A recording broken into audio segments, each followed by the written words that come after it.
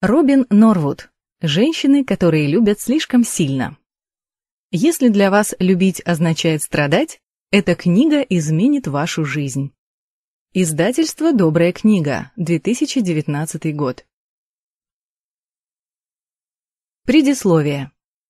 Мы любим слишком сильно, если любить для нас значит страдать.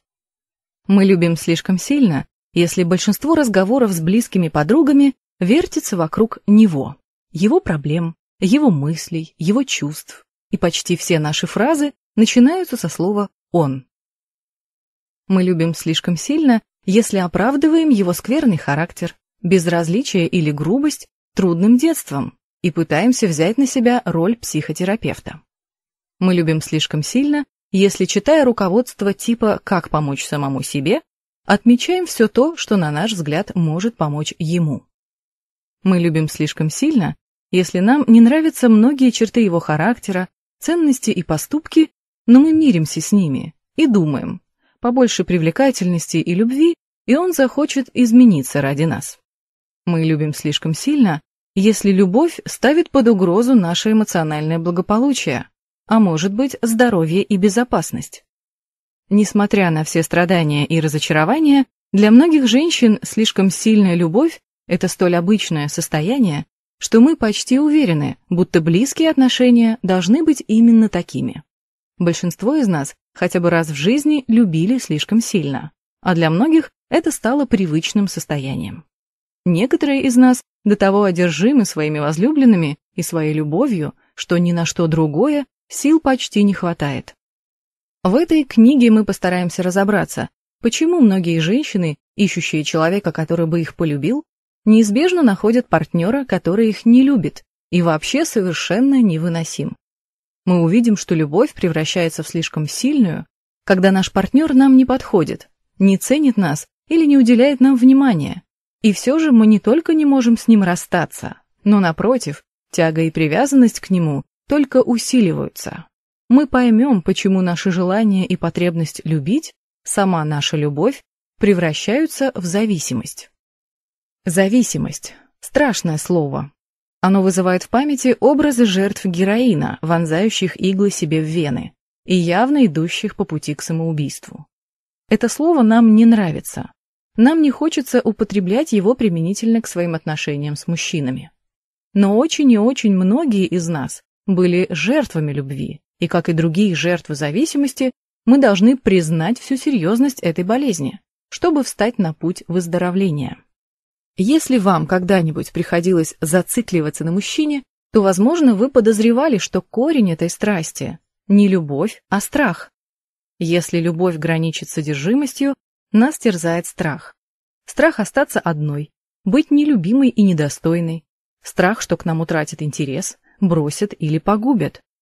Мы отдаем свою любовь, отчаянно надеясь, что мужчина, которым мы одержимы, развеет наши опасения. Но вместо этого страхи, а с ними и наша одержимость, становятся все глубже, пока привычка отдавать любовь с целью получить ее взамен не станет движущей силой жизни. А поскольку наша стратегия не приносит плодов, мы стараемся изо всех сил и любим еще неистовей. Мы любим слишком сильно.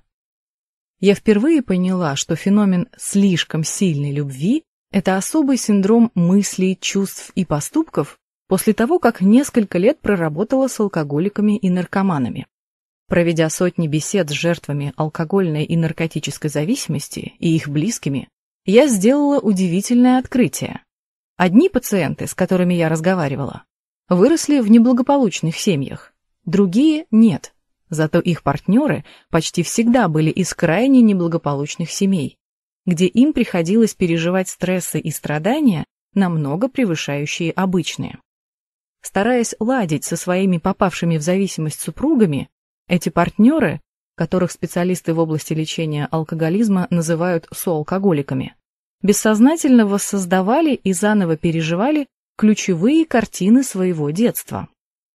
Главным образом, благодаря беседам с женами и подругами зависимых мужчин, я начала понимать природу слишком сильной любви.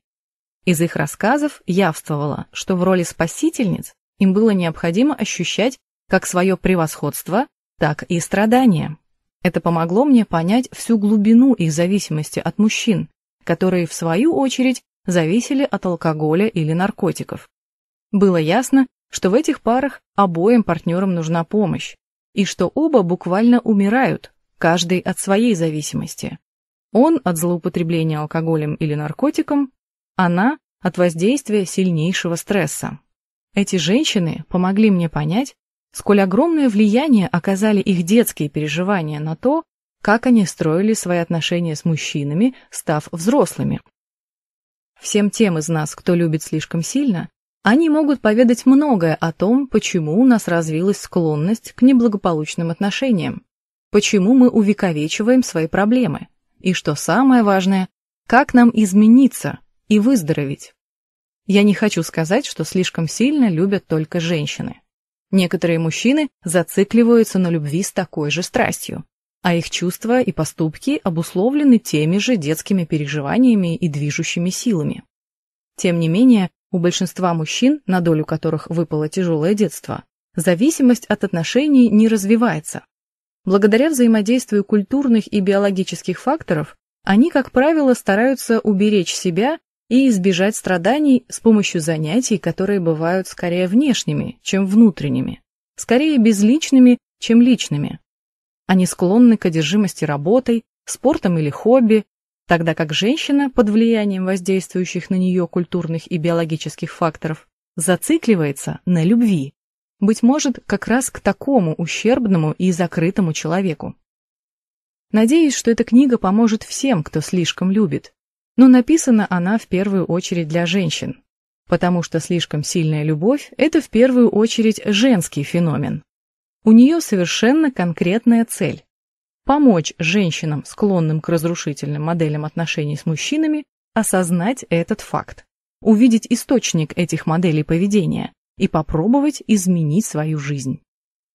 Но если женщина, которая слишком любит, это вы, я должна предупредить вас, что моя книга не для легкого чтения.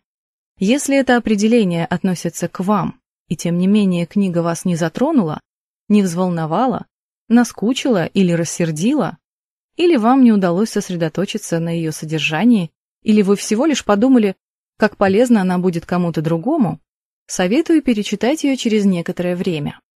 Всем нам хочется отрицать те истины, принять которые было бы слишком мучительно или страшно. Отрицание – естественное средство самозащиты, которое действует автоматически, без всякой просьбы с нашей стороны. Может быть, вернувшись к этой книге позже, вы сумеете вынести встречу со своими переживаниями и потаенными чувствами. Читайте, пожалуйста, не спеша. Постарайтесь умом и сердцем понять этих женщин и их рассказы. Истории, приведенные здесь в качестве примеров, могут показаться вам чем-то из ряда вон выходящим. Уверяю вас, дело обстоит совсем наоборот.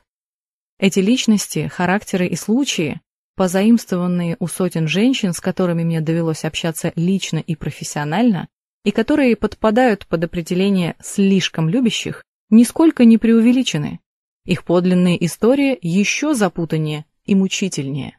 Если их проблемы покажутся вам более серьезными и тяжкими, чем ваши, позвольте сказать, что ваша первая реакция типична для большинства моих клиенток. Каждая уверена, что у нее все не так уж плохо, и даже относится с сочувствием к судьбе других женщин, которые, по ее мнению, попали в настоящую беду. По иронии судьбы, мы, женщины, способны воспринимать с сочувствием и пониманием мучения, выпадающие на долю других, но слепы к собственным страданиям или ослеплены ими. Мне это прекрасно знакомо, потому что я сама большую часть своей жизни была женщиной, которая слишком сильно любит. Но потом это стало настолько серьезно угрожать моему телесному и душевному здоровью, что мне пришлось пристально изучить модель своих взаимоотношений с мужчинами. За последние несколько лет я очень много сделала для того, чтобы ее изменить, и эти годы стали самыми благодатными в моей жизни. Надеюсь, что всем женщинам, которые любят слишком сильно, эта книга не только поможет лучше осознать свое истинное положение, но и вдохновит на то, чтобы начать его изменять. А для этого нужно больше не сосредоточивать всю любовь и внимание